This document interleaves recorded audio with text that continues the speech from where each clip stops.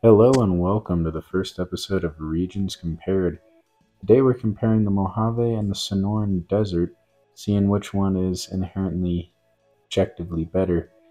Right here we have the border between the two. As you see, the Mojave kind of cuts across quite a large swath of territory, taking up four states, and the Sonoran is mostly found in California and Arizona.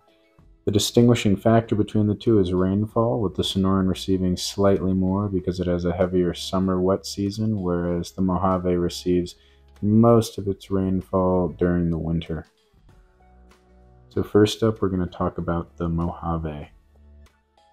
So, the Mojave Desert is the driest, hottest desert in the United States. It takes up quite a large swath of land within the basin and range provinces of the southwestern United States. It's cut by a lot of crisscross mountains. Some spectacular sand dunes dot the landscape all throughout. The main plant species you're going to find within the Mojave, and similar to the Sonoran, is going to be creosote bushes, uh, which are those scraggly bushes you'll see when you're driving on the side of the road.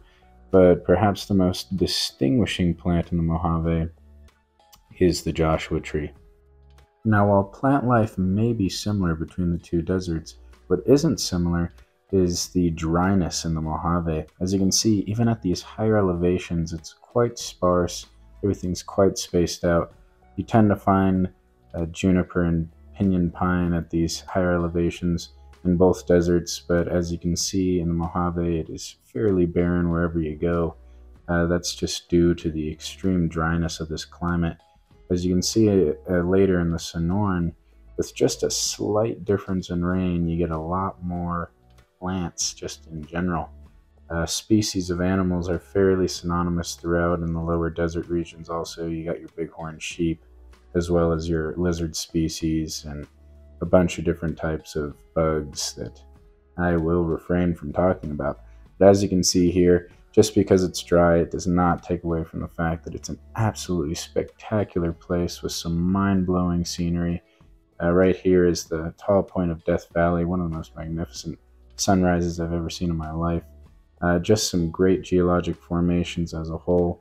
It's really a massive region and it's really beautiful, so I recommend anybody and everybody tries to find a local hike that goes through the Mojave wherever you can get it and uh, go ahead and experience one of the most amazing desert climates that the U.S. has to offer. An area I just wanted to briefly highlight is the Colorado River Valley just south of the tip of Nevada. This area is known as the Colorado Desert, and it is where the Sonoran and the Mojave mix. So if you're ever to see a Joshua tree next to a big old fat saguaro cactus, this is probably the place you'd see it. Up next, we have the Sonoran Desert. This is a picture I took of the Kofa Wilderness. Absolutely beautiful spot in the Sonoran Desert. As you can see, the main distinguishing factor between the two deserts here is these big saguaro cactus. Uh, but you also see just from these pictures here that there's a lot more plant life.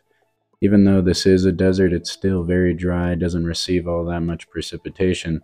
You're still going to get these blossoming areas of very dense and lush plant life uh, found all throughout the desert.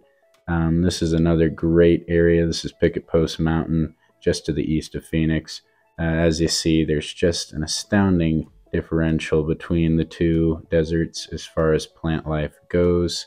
Um, other than that, species throughout are fairly similar. You are going to get some differences, like the Gila monster, which is very synonymous with the Sonoran Desert climate.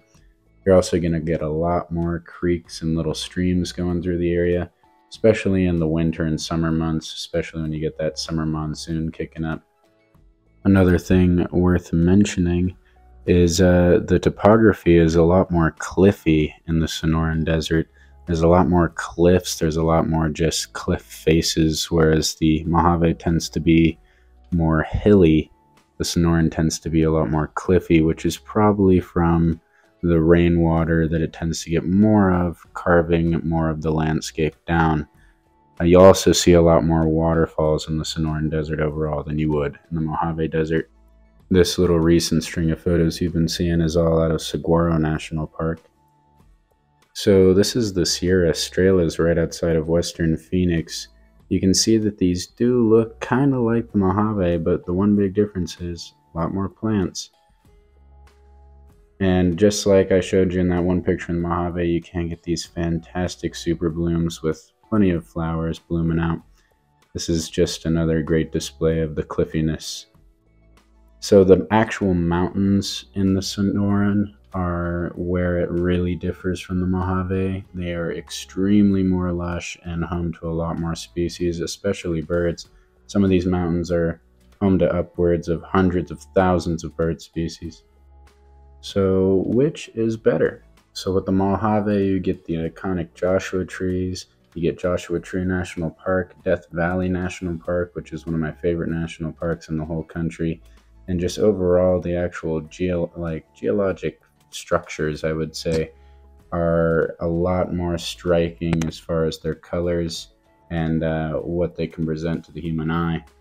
But on the other hand, you have the Sonoran, which is a lot more lush, has a lot more water going through it, is a lot cliffier is a lot more varied in its plant landscapes, I should say. And as you get further up in those mountains, instead of being dry, it's actually quite wet and home to a lot more species. Ultimately, I decided that they're both fantastic. I couldn't pick one over the other. This is Hualapai Mountains. This is kind of where the Sonoran and the Mojave meet, and as you can see, it's very lush and very beautiful. So the kind of guidelines that dictate both is a bit arbitrary, but you're going to have a great time if you visit either of these deserts, get out and go for a hike. So thank you so much for watching this video and stay tuned for the next one.